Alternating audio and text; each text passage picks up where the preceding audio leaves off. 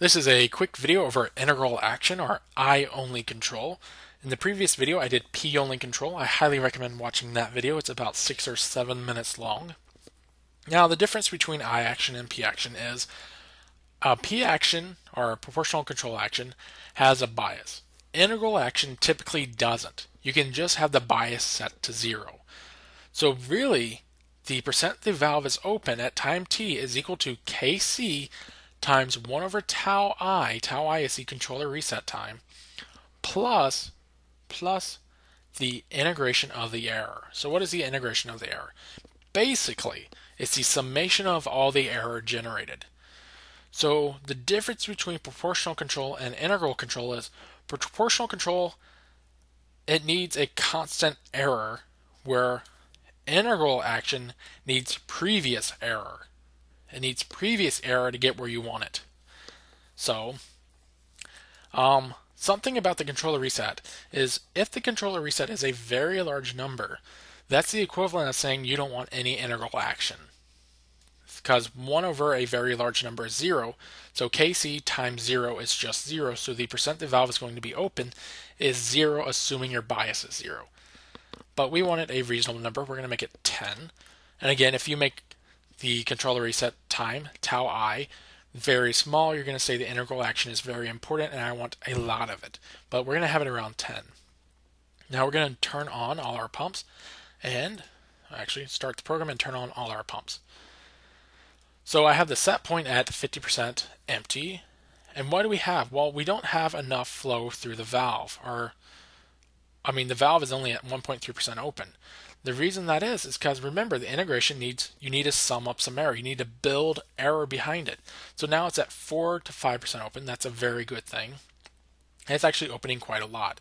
This uh, graph right here is the um, percent the valve is open. So right now it's at 9.3. So that's how much. That's what the integral action is doing. Is doing right there. what we saw is it overshot when it was at when it was at the set point, the valve was open way too much. So it allowed way too much fluid to flow out. So it needs to start closing. So it has this negative error, and that's going to start decreasing it. So what do we see? We see the integral action allowing the closing. Basically, it's closing the valve. And what's going to happen is it's closing the valve way too much. Way too much. It's closing the valve way too much. And now that it's close to the set point, it's saying it's basically 0% open, which is a bad thing because it needs to be around 6 or 7% open for our system. So now what we see is, okay, we overshot, so now we have positive error again. So it's building up that summation of error, and it's building up how much we want the valve open.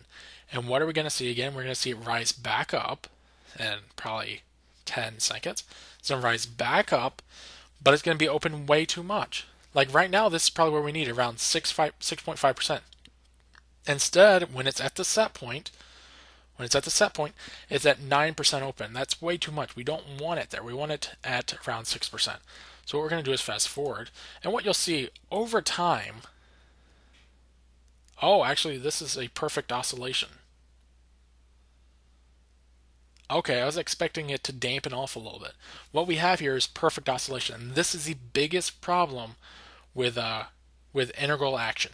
So I actually want to show you, um, instead of this, I want to show you a different system where we change the, uh, the system around. But this is one of the big problems. We get close to the set point, but it's oscillating. That's not a good thing. Or it, well, it might be. It depends on how you want to do it. So instead, let's look at it this way. We're going to clear all the graphs, start the program, and instead of it being at 0.5%, we're going to have it we're going to have it at 70% empty. So we have this stepwise function, and what do we see? Well, if we fast forward, we see it overshoots. Same thing it did before. Let's just fast forward again. It's it's oscillating, but you see the oscillations are actually dampening. And pretty soon, it's almost getting to our set point. So integral action gets to our set point unless you get really bad oscillations. Like we had very bad oscillations when it was 50% open. So bad oscillations that didn't happen there because we had a stepwise change or a step a uh, step change. So that's the integral action. It causes oscillations. So now let's combine that with uh, P control. Because remember, integral action has the biggest problem is that it's it's either open way too much when it's at the set point and overshoots, or it's closed way too much and undershoots again. So it does that. Where P action was either just a little off all the time at the end. It didn't do this crazy oscillation. So let's see what happens if we turn on proportional control. So now we have PI control.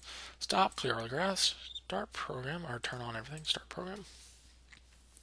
So what we see right away is we see this massive amount of P control taking over. And then it slowly decreases, while the integral action slowly increases. So the total action is right here. This blue line right here is the is the total action being taken by the PID controller. And it's just the summation of both of these actions. Now, look, when the when it, we're close to the set point, we see P action it starts to cancel out the I action. So it actually starts to decrease how much it allows the valve to be open. So that's kind of neat. So what we'll see is if we fast forward, as we actually see it level off. We don't get that oscillation. So P action actually causes it to dampen a little, or a lot in this case. So it dampens a, a lot. Now, so it dampened that one pretty good.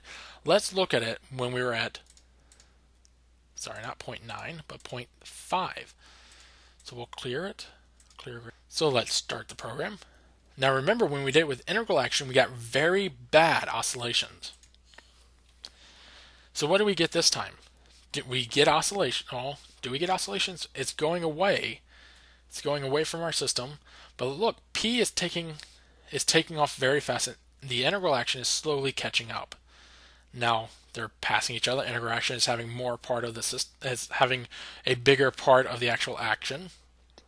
YP is slowly decreasing, and we see it going back upwards, and most likely it's going to oscillate just a little, just a little.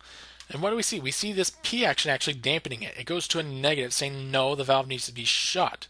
It needs to be shut. It needs to have so it's going to maybe a negative point 0.05% closed. So I don't know how you can close the valve more, but saying no, you need to shut the valve instead of having it opened all the way. So we get that closure of oscillation. So let's actually look at something like that. What happens? We see the P the P action take a big hit and then the integral action slowly catch up to it. But so I don't know what I'm trying to really say. Um but I mean, uh, I guess one of the big things is you see how this this giant kick. P action is known as we call that the uh, proportional kick, and it's when you have a uh, step change. So it always has that massive kick. So I just I needed to point that out.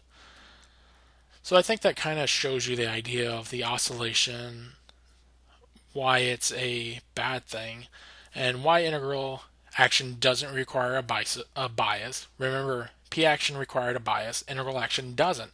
So when you combine them together, you don't need a bias anymore. So all you need to do is set controller gain and controller reset time. And just remember, controller gain affects the proportional control and the integral control. And really, what you can think of, uh, think of the uh, the the uh, controller gain, how it affects the integral action is just, I mean, it's a ratio. It's Kc over tau i. So Kc over tau i, and so it's I mean you can just affect how it affects the system. Uh, this is a longer video than I want it to be. Uh, hopefully that makes any hopefully that makes sense. If you have any questions, please please leave them in the comments section below.